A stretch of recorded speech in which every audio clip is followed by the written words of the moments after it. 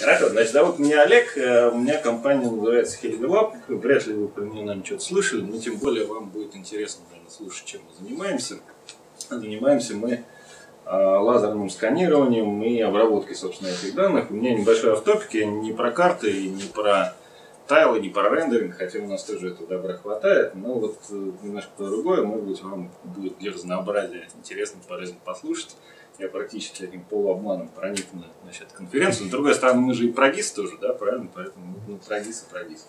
Значит, э, начну с того, что замахнусь на святое. Я так с истории начинаю немножко, как мы вообще дошли до такой жизни и почему занялись лазерным сканированием.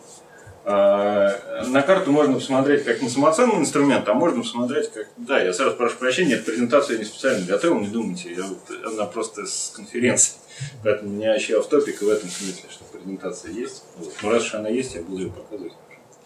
А, значит, карта это не только самоценный инструмент, это еще инструмент агрегации данных, но вот как инструмент агрегации данных у нее есть некие минусы в том, что когда человек на нее смотрит, он не может представить, э, что вообще вокруг находится, какая, как выглядит эта территория. Ну и, соответственно, карта, в общем, достаточно бедный инструмент. Там есть дома, дороги, но там деревьев, например, уже нет. И в этом есть проблема.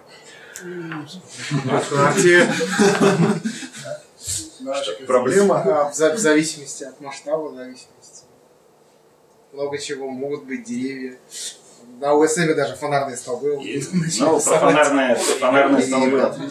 Зачем все так же про фонарные столбы немножко дальше будет, кстати, мы их тоже находим. Значит, почему мы вот этим вопросом задались? У нас на самом деле не философское размышление на эту тему. А мы достаточно долго занимаемся созданием ГИС для московского правительства. А, и, естественно, как мы это делаем? Ну, мы брали карту и как, что-то там какие-то кадастры какой-то земельный замечают, в зависимости от того, что требует заказчику. И в какой-то момент заказчик пришел, сказал, дайте нам что-нибудь такое красивое, чтобы мы могли прям не сходя с места смотреть, как это все выглядит. А в чем проблема сети менеджеров? В том, что они сидят за экранами, и вот когда значит, они решат очередное кафе снести, которое сейчас значит, бедные под раздачу попали, а, они, им нужно понять, как это вообще все выглядит, и они туда человека посылают, который, соответственно, все это фотографирует, измеряет, и все, что делает человек, это долго и дорого, и не точно при этом.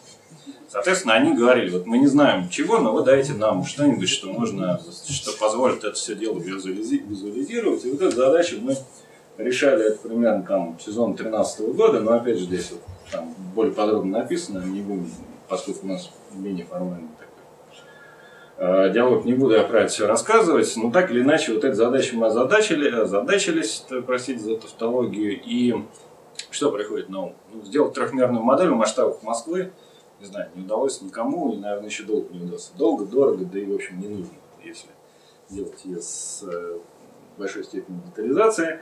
Естественно, поскольку мы практики, мы попытались что-нибудь за рубежом. Думаем, сейчас мы поедем, купим, поехали в такую компанию S-Mine, которую купила потом Nokia Hia, которую потом, потом купили еще, значит, всякие вендоры, э, бренды автомобильные как раз они тогда готовились к продаже Nokia и сказали, ну что вот у вас там есть. В общем, не буду забегать там, не, не буду углубляться в дебри, не получилось. Не получилось по нескольким причинам. Ну, во-первых, по точностям там у них было плохо, потому что у них был не лазерный сканирование тогда, фотограмметрия. Они ставили две камеры друг на друга и по фотограмметрическим принципам пытались установить окружающее пространство. Ну и потом, даже тогда еще по курсу 40, там, три года назад это были какие-то астрономические деньги, потому что они э, хотели брать не только за поставку решения, но еще и за обработку каждого хронометра. Ну, то есть пытались сесть на этот поток, что, естественно, как нам, нам как покупателям, совершенно было не в радость.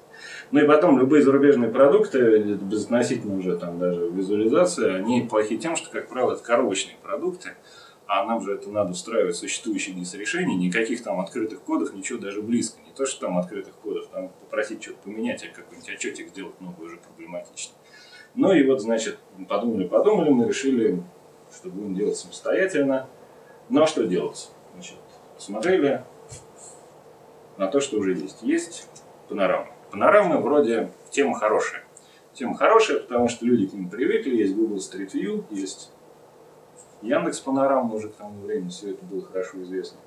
Пользователь смотрит, видит, что изображено, отлично представляет ту или иную территорию. В чем с точки зрения машины проблема панорам? В том, что это плоский растр, картинка с пикселей. Как работать, непонятно. Чего там нарисовано? Машина же не может понять, что это какой-то там Ленинский проспект, вдоль дома идет, пивнушка написано, все отлично. Только человек может, машина не может. А, и тогда родилась идея, давайте мы вот эти панорамы геопривяжем. И вот эту концепцию трехмерных панорам, мы их называем трехмерные панорамы, не знаю, удачное это название или нет, но так оно родилось и закрепилось. В чем отличие принципиально от э, обычных панорам? В том, что каждая точка имеет свои координаты. То есть вы кликаете, мы можем сказать, что здесь э, широта такая, ну там в этим широта такая-то, долгота такая-то, а высота над уровнем, там, например, машины над уровнем плоскости дороги такая-то. А что это нам позволяет? Это позволяет в машине сразу с этой картинкой работать. Мы можем, например, любой, любое линейное расстояние или площадное расстояние померить. Не в пикселях, а в реальных метрах, сантиметрах и миллиметрах даже. Мы можем вывести любую геоинформацию. Например, показать, э, дернуть из э, какого-то там реестра э, контур дома на котором он стоит, и показать его на фотографии. Можем дернуть участок, который за ним закрывлен, участок показать на фотографии. Можем даже туда объект внедрить, положа не просто на картинку сверху, а с корректными перекрытиями. Мы когда в 2013 году эту штуку затевали, а, нас все спрашивали, ну а что вот какие-то панорамы делать, все же есть Яндекс и прочее. Мы решили, ну надо сделать какую-нибудь демо. Мы взяли человечка, пустили по фотографии, который за дом заходил. Вот он заходил за дом, обходил его и, и выходил с другой стороны. То есть он кружил вокруг дома, и, соответственно, корректным этим домом перекрывался. Как это сделано? Ну, за этой картинкой есть некий Z-буфер, буфер глубины, который, собственно, и дает, ну, фактически является некой базой данных для этой фотографии, и позволяет сделать, соответственно, по клику суждение о том, где расположена, там, насколько далеко и под каким углом расположена точка, на поскольку центр координат, центр панорамы известен, то и координаты каждой точки панорамы тоже известны. Вот это тот продукт, э, с которым мы в 2013 году пришли к правительству, и который уже три года, ну, надеюсь, сейчас четвертый будет, поддерживаем, он используется в соответственно, в геоинформационных системах правительства, в основном закрытых, ну и на публичных порталах, ну, тоже частично доступен там, с обрезанной функциональностью. Как мы это делаем? Такие машинки у нас ездят собственные. Значит, это автомобиль, э, на него ставится такая штуковина здоровая – и, и вот у нее самая-самая верхняя часть, вот такой плохо видно, может, прямоугольничек, это камера, которая щелкает раз в какое-то время. Ну, 5-10 метров, неважно. А, под ней такая желтая, это инерционный блок, который служит для уточнения трека в случае, когда там проблемы с GPS, для вычисления углов тангажа и прочее, потому что если машина наклоняется, очень важно понять, в какой степени она наклонена. Ну и, наконец, белые блоки – это лазеры, которые, собственно, с большой частотой обстреливают окружающее пространство и дают нам так называемое облако точек. То есть мы понимаем, что окружает машину именно в точках, а не в пикселях фотографии. Ну и дальше мы, соответственно, соответственно все это обрабатываем примерно так вот. Можно вопрос? Да. А, Ч- чем от нафтековской точки От нафтековской да. Ну, Хир, ну у них тоже машинки с лидарами продались. Ну, возможно, что ничем. То есть Нет, я, просто я... вы говорили, что вы с ними общались, и почему-то у них это техники не оказались. Я вот... С Нафтеком и Грустным общались, мы с НАК 4 общались, который панорам для индекса снимается. Так, но, про Nokia, я не упоминал. Nokia Here. Nokia Here. Nokia Here с Юсмайном мы общались, да? Ну, с Юсмайном. Ну да, ну просто Nokia Here вот. это, ну, был... Ну, мы общались тогда с Юсмайном, которая была совершенно независимой компанией. Значит, чем отличается? У них тогда, то есть я слышал, что они вот там, по крайней мере, уже в Финляндии, Nokia Here, а, они используют действительно машины с лидарами и действительно обрабатывают. Но вот тогда, когда мы в Earthmine приезжали, у них не было лидаров именно, у них было, была стереопара. То есть у них было две камеры, грубо говоря, панорамных, которые друг на дружке стояли. И э, в чем их была проблема? Вот э, дома же никогда не бывает, дом это не плоскость. У него козырек, у него балкон, у него кондиционер там понавешенный. Вот у Earthmine а весь дом был просто плоскостью. И, соответственно, фасад был плоским растром тоже. Это нас не устраивало там каких, по разного рода причинам. Нам нужен был фасад, чтобы он ну, был действительно фасадом, совсем выпустим его, чтобы мы могли там э, отдельно вытащить, не знаю, какие-нибудь там э, э шаблоны балконов и прочее. Ну, так и иначе, короче. Тогда это решение не подошло. То, что делают они сейчас, ну, безусловно, мы читаем там всякие патентные исследования и зарубежные, потому что в России практически никто этим не занимается. Безусловно, эта тема, она сейчас активно развивается, и много, ну, не знаю, много, но несколько команд точно копают в этом направлении. Я думаю, что Kia тоже, ну, как бы идея поставить лазер, она не, является какой-то там не, креативной. Но в России в- еще была команда, ну, правда, куда сгинула, Краснодарская или Геогиз. Вот они как раз, у них вот Да, схожие. да нет, и мне кажется, что они вполне все живые. Но только они, э, у них немножко специализация другая, если мы про одних тех же говорим ребят, а они упираются на то, что они делают саму железяку. Саму железяку, это вот мы не железячники, мы там пытаемся к ней свои камеры прикрутить, потому что у нее есть там понятные свои минусы, но мы, мы больше про софт, про обработку. А ребята из Краснодара, они больше про железо, и они железо Да-да-да, применяют Краснодар. для, э, для построения профилей дорог, вот таких Да-да-да, геодезических, строительство. геодезических работ, потому что есть в России отдельный рынок. Вот сейчас же э, дорогу, вот если дорожники построили какую-то дорогу, они должны ее сдать обязательно с профилем из облака точек. Там пусть она будет не плотная, но как бы есть требования. И этот рынок, он тоже э, вполне себе развивается, и на нем можно работать. Единственное, что это просто такой чисто геодезический рынок, а мы, в общем, не геодезисты, но в большей степени разработчики. Мы, у нас, ну, программисты у нас сидят. И, и я, собственно, с чего начал? Что мы пилили, пилили там ГИСы, которые делают текстовые отчетики, грубо говоря, там, по запросу, по кнопке. И просто нам в это пришлось впилиться, потому что ну, вот была такая задача. Вот, э, собственно, наверное, да, краснодарцы делают тоже отличный продукт, просто может быть немножко другой области. Ну а возвращаясь к результатам обра- обработки, вот, собственно, эта фотография, вот этот Z-буфер, ну это визуализация его, да, он там в файле более сложно устроен. Чем светлее точка, тем она ближе к нам, соответственно, черная точка на бесконечности. Можно из этой панорамки, поскольку мы, у нас есть удаленности, мы можем ее приближать треугольничком, сделать, сделать полигональную модель. Это позволяет нам смещаться из точки обозрения. Проблема панорам в том, что они дискретны. Да? Соответственно, если мы с этой точки сняли, мы попали. Если нам нужна другая точка, то никак. Ну вот можно попробовать эту проблему решить, разбивая, соответственно, множество, нам, э, пространство на множество треугольничков, выделяя текстуру, любой треугольник, как известно, плоская фигура, да, соответственно, у него плоская текстура, и можно на этот треугольник посмотреть с другой стороны. Безусловно, есть какие-то слепые зоны, которые, может быть, и не, там, может быть, можно, а может быть, не можно взять с соседней панорамы.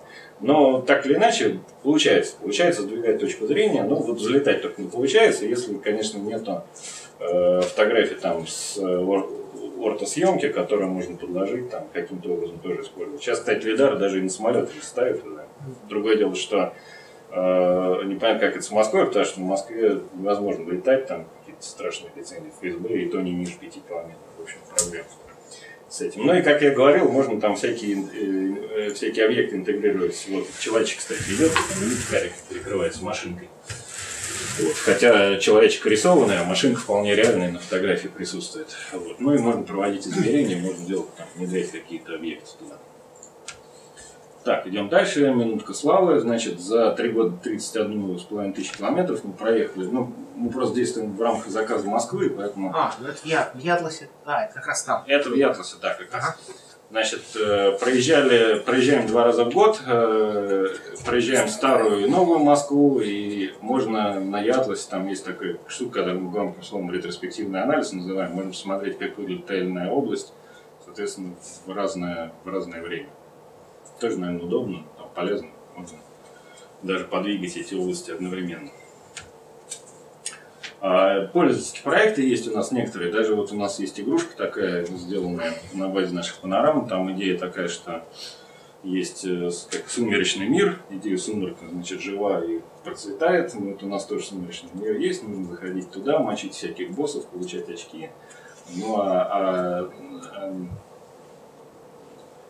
чем идея игры? Геосоциальная. То есть, ну, ингресс там, наверное, представляете да? То есть но чтобы выполнить какой-то квест, выполнить задание, нужно оказаться в какой-то, физически оказаться в какой-то точке. То есть вам нужно приехать там в офис на работе, домой, выйти на улицу и прочее. Если вы не хотите э, туда перемещаться физически, вы должны выйти из своего там тела астрального и за это, соответственно, заплатить какие-то там виртуальные денежки, но монетизация построена, естественно, на приобретении этих денег.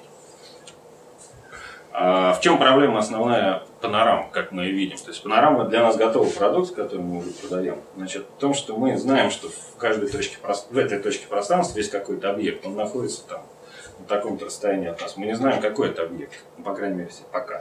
Поэтому следующий этап, э, над которым мы задумались, это давайте вот это вот, как это называется, модным словом в патентных всяких исследованиях, парсинг городской сцены. Давайте мы сделаем парсинг этой городской сцены. Давайте мы посмотрим, разовьем все объекты, которые, вот эту сцену, облако точек, так скажем, которые есть вокруг нас, на отдельные объекты, попытаемся эти объекты распознать. Вот это то, собственно, над чем мы сейчас и работаем. Мы отдельно выделяем вот эти столбы, например, в Москве за там несколько дней, я думаю, что даже за пару может, можем, например, детектировать все столбы с вероятностью 96%. Вот. И мало того, что мы можем их детектировать, мы можем посчитать их э, физические параметры, ну, грубо говоря, там, высоту, ширину, можем вытащить их текстура. То же самое у нас есть сейчас со светофорами, со знаками, с э, билбордами. Ну и то, над чем мы работаем, это, собственно, дома, потому что практическая задача, задача с точки зрения бизнеса, безусловно, должны знать с точки зрения бизнеса смотреть. Очень часто нас спрашивают, а вот вы можете взять и в городе вытащить, например, все фасады, все картинки, причем там с разной степенью детализации. Кого-то просто плоские фасады устроят, а кого-то, ну, кому-то нужно там с балкончиками и прочим, то, что еще любите повторить. Но повторюсь, что вот если панорама это, так скажем, готовый у нас продукт, то здесь вот над этим мы пока работаем и с разной степенью удачи. Столбы хорошо пока получились, знаки светофоры хорошо, билборд там с домами пока работает. Ну и наконец, э, что ты пропустил, что ли? Ну, а. Ну, наконец, новая идея пространства. Мы даже торговую марку на это сочетание значит, получили. В чем идея, к чему мы, собственно, стремимся, что мы хотим сделать. То есть, вот мы как привыкли пользователю представлять пространство на экране монитора. Сверху, снизу карты, сверху панорама или наоборот, там, или панорама во весь экран сбоку карты, там каким-то образом. То, что Яндекс и Google нам предлагают. Нет, на самом деле надо не так, мне, кажется. Надо же взять, нам кажется так, надо взять и погрузить человека вот в это пространство. Пусть у него прямо там будет карта, пусть у него будут элементы управления там, пусть эта, эта информация выводится вся на той привычной картинке, которую он, грубо говоря, выйдя на улицу, увидит. И это же можно сделать не только там на экране компьютера, а изначально мы делали технологии таким образом, чтобы это все работало и в тонких клиентах, и в мобильных клиентах. То есть берете планшет, выходите и видите вот именно такую картинку, то есть у вас есть полное погружение, ну как в игровых механиках, да, когда у вас нет элементов, которые приклеены там, ну или минимальных количеств, которые приклеены, грубо говоря, на лобовое стекло этого планшета, а все находится внутри. Все включая там объект, который мы распознали да? который объект мы распознали и прочее, прочее. Там можно всякие пои помещать, причем пои, естественно, тоже можно показывать как на карте, так и на панораме, ну и так далее. Ну и, в принципе, я уже практически подошел к концу своих рассказов. Здесь я не буду останавливаться, но да, действительно можно там э, аккумулировать информацию, распознавать объекты. Наверное, там в большей степени для такого честного общения, как у нас. А, скажу лишь только, что вот все-таки у нас еще и про карты, да, как нужно с картами соотнести. Вот мы собираем огромное количество таких облаков точек. Вот там небольшой внутренний вью, который мы используем для разных целей. И, естественно, спроецировав эти облака точек на плоскость, мы можем получать, так скажем, плоские изображения разных объектов, в частности домов, поскольку мы сцену сегментируем, мы знаем, где точки домов, ну или будем знать в ближайшее время, где точки домов, где точки, там, грубо говоря, деревьев. Можем их отличить. Ну и таким образом более подробные планы строить или уточнять те данные, которые, собственно, уже есть.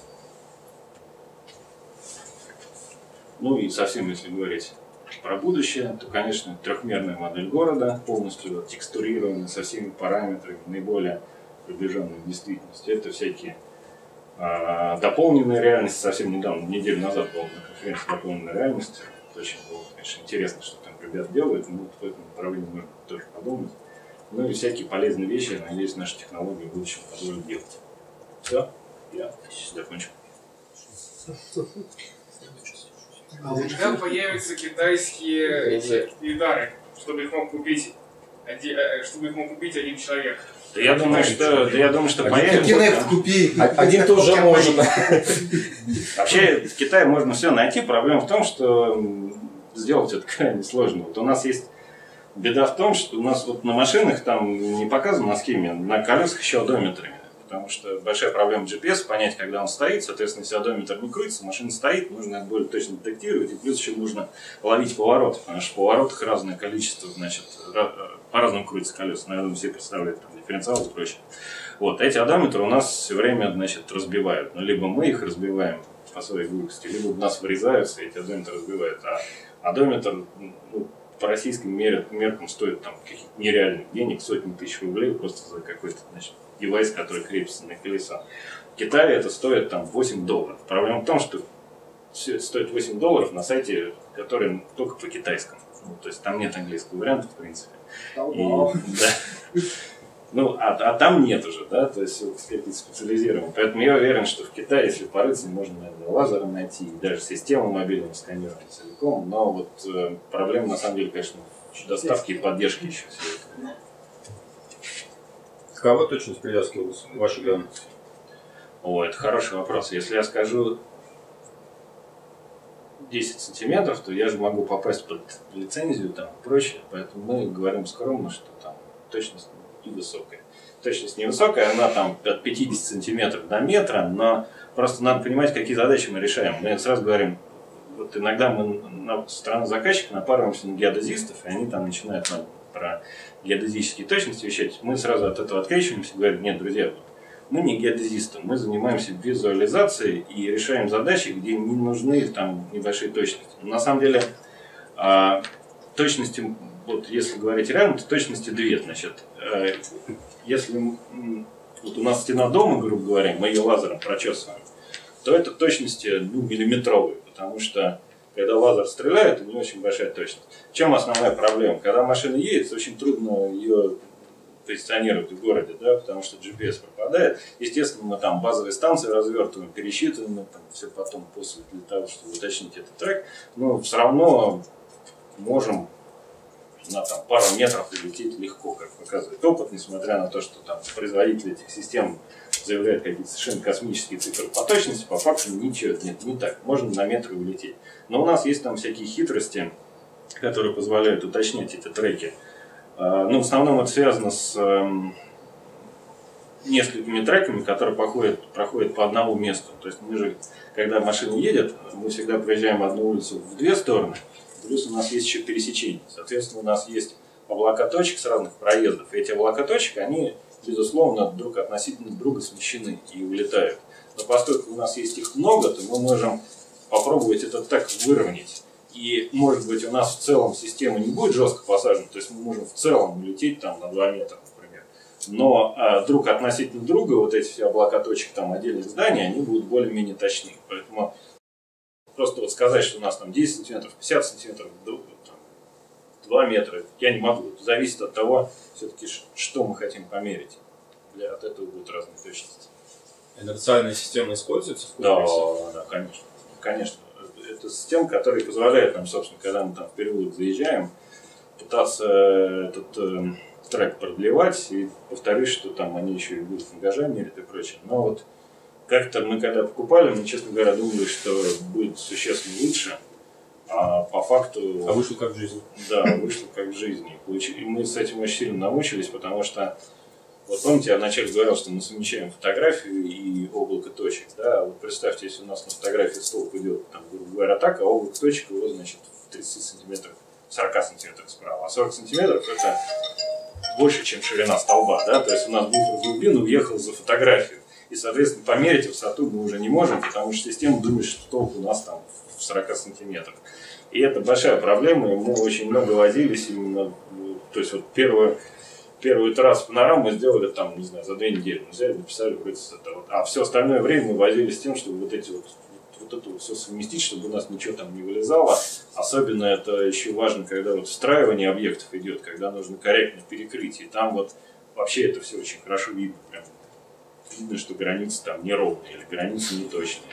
И, конечно, тот результат, который он есть, он в любом случае не идеален, там есть какие-то допущения. Но вот над этим мы возимся три года уже, может, еще 10 лет проводимся. Технологии трехмерных панорам с глубиной точек, они как-то проникли в Ятлас или они только у вас? Там э, в Ятласе мы, вы не можете посмотреть буфер глубины, но вы можете провести измерения. То есть там есть вот эти инструменты, вы можете померить высоту, например, столба или там площадь до куска дороги. Вот. И для пользователя, наверное, это ни, ни, ни о чем не говорит. Но, в принципе, люди, которые представляют, что на, на плоском растре это невозможно померить, ну, надо думать, что понимать, что там есть подложка, что-то стоит за этим панорамой. А вы снимали только для московского правительства? А У нас было несколько коммерческих проектов, не связанных с Москвой, но это были совсем мелкие, мелкие города. Вот, все-таки у нас три, три года нам еще пока не очень большой срок, но вот, не знаю, буквально сегодня я там с например, переговаривался, может быть, там, до этого у нас были с Хабаровском и прочее. Просто сейчас еще и время не очень такое хорошее, бюджеты режутся. поэтому Такой вопрос. А данные, которые Москва, ну, грубо говоря, вам заказывала, правообладатель, кто является Москва или А, вы тоже имеете какие-то права? Там хитрая, значит, хитрая с этим ситуация. Москва не может просто по внутреннему своему полисе, не может не покупать, покупать что-то не в эксклюзив. Не эксклюзив. А мы, соответственно, очень не хотели эти данные в эксклюзив отдавать. Поэтому мы договорились на следующей формулировке, что мы, ам, что эксклюзив они имеют на обработанные данные. То есть, вот, грубо говоря, на те сшитые панорамы, на то облако, э, на те буфера глубин, там, вот, которые мы им передали, они имеют безусловные права, и мы не можем это повторять. Но при этом, если мы переобработаем эти панорамы, там, переобработаем точки, то гипотетически это, соответственно, будет уже другой продукт. Ну и плюс э, Москва заказывала съемку там с интервалом 10 метров, мы снимали чаще, и, соответственно, можем брать те, э, те фотографии, которые, собственно, не были переданы в Москве. Ну, то, что в Москве лежит, это, собственно, с Москвы. А если не секрет, сколько мегатонн у вас данных? Но у нас вот, сейчас скажу, сколько у нас. Да, это, кстати, не так много. Я вот недавно совсем. У нас такая пачка дисков здесь лежит, да? с уже не весь их Их, нашел. их, Да, по-моему, я, я здесь, да. Две больших коробки тяжело тащили, переезжали. По-моему, дисков 50 сейчас 4 терабайтных, то есть 200 терабайт данных. Ну, в общем, не знаю, много. 200 терабайт за три сезона. Для Москвы не очень. Для мира. Наверное. Но это вот 30, 31 тысяча. Москва, а, старая Москва, она, у нее УДС э, где-то от 5,5 улично-дорожной сети, от 5,5 до 6 тысяч, в зависимости от того, а, как плотно вы ездите. Заезжаете там во дворы, режете вы хорды по жилым кварталам или нет. А новая Москва, присоединенная территория, нет, где-то там порядка трех тысяч. Опять же, от того, там зависит, заезжаете в поселок или нет. Но получается, что если снимать и то, и другое, то это где-то там от 8 до 9 тысяч примерно. Ну, то есть мы снимаем две старые Москвы в сезон и одну новую. Получается 13,5. Ну, плюс-минус. Можно финальный тогда вопрос? Можно даже несколько. А вы, планируете открывать хотя бы часть этих данных? А, Если у вас есть права на переработку, на, скажем, на сорцы, Да, знаете, мы, в принципе, не, не то, что мы их за, а, закрываем, да, а главное, чтобы было понятно, какую задачу это решит, да, то есть вот э, одна из моих целей, я пришел не на конференцию, а к разработчикам, да, то есть кто-то придет к нам и скажет, давайте вот мы сделаем такую классную штуку, денег, значит, не будет, но зато там классно попиаримся. Ну, можем про это говорить. Пока мне кажется, никто к вам не придет, пока вы не откроете. Хотя бы кусочек Да. Москвы. OSM все пользуются не из-за того, что он такой хороший. Ну, maybe. Вот будем думать. Я тоже сегодня послушаю. А, а формат у вас какой? Свой? Вы же сами пишете? Ну, формат данных, который вот э, после обработки системы, он более-менее стандартизирован. Там есть такой формат LAS, который представляет данные сканирования. Ну, фотографии это вообще там чпег, ра- просто развертка такая чпега, как бы сферу делать плоско просто фиг.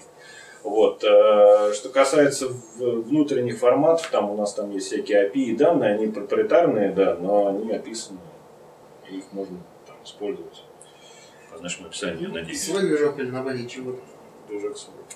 Свой движок, там есть э, некая математика от э, производителя мобильной системы, которая, собственно, занимается тем, что, ну, фактически техническую обработку проводит, там, сливает э, в единое облако данные от разных лазеров, их там 5 на системе стоит и прочее. И вот на выходе получается лаз, а дальше вот обрабатываем все мы самостоятельно. И мало того, мы, в общем, мы не хотели это делать, но фактически жизнь заставила, что называется. Мы пишем вьюеры для этого дела, потому что мы пришли к строительству сказали, есть такая классная штуковина, давайте, значит, мы вам сейчас данных накидаем, а вы их будете использовать, значит, как, как хотите, не почасовые. Значит, зато сказали, не, мы так не умеем, давайте вы нам сделайте, чтобы можно было показывать всем. Вот так мы, значит, оказались в клиентских писателях, клиентских программистах. Так, э, вопрос про открытые данные. Откройте хоть улицу. Да не, не вопрос. Тем более, что смотрите, у нас просто есть... Зачем тебе целая Москва? Хоть улицу покажи. Ну, половинку, которая новая. У нас же есть еще там старый сезон, с ним вообще никаких. Садов Дмитрий Сидор, кажется. А к вопросу про Новую Москву. А как эта техника переживает проезд по грунтовке? Да вы знаете, как-то удивительно, удивительно нормально. Мы бо- боялись за одометра. Одометр такой, как бы, как он устроен? Такой стеклянный диск, у него там много-много рисок. Ну и, соответственно, оптически смотрится, как этот диск повернулся. Там точность у него достаточно большая, там до градуса поворот смотрит. Мы, мы думали, что, значит, сейчас мы по колдобинам, и это все стекло рухнет, но ни разу не рухнуло, только, значит, путем вбивания либо самостоятельно, либо в нас, когда впиливались, а столкнулись мы с проблемой с, с неожиданной стороны. У нас, а, во-первых, почему-то начали кабели перегреваться, хотя мы вроде не в Мексике живем, да, ну, как такая удивительная. Ну, кабели выгорают в этой системе, там вот все эти, все эти конструкции, лазеры, центральный блок камеры, они соединены там внутри кабеля. Эти кабели почему-то начинают перегреваться, мы их меняли.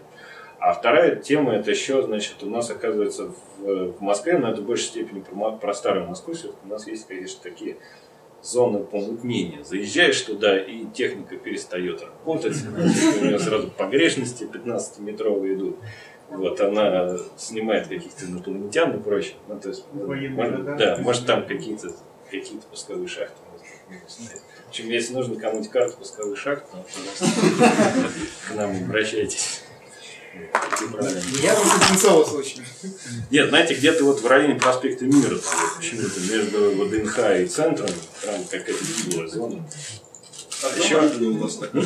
Одна машина у вас оборудована? Две, Или- две машины. Две. Мы просто когда вот нам поставили задачу два раза снимать, мы поняли, что... Ну вот две машины на один, на цену другую.